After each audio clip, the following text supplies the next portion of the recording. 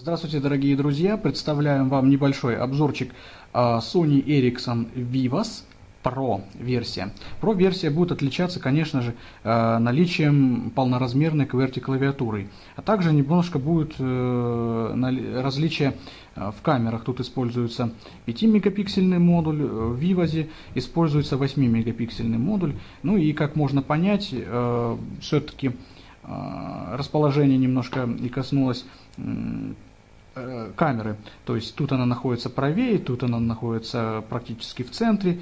А, что касается размеров, практически э, эти два телефона э, идентичны.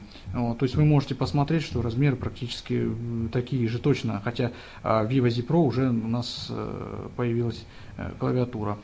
Собственно, это Vivos, а это Vivos Pro. Вот. Вы можете посмотреть, как они вот различаются.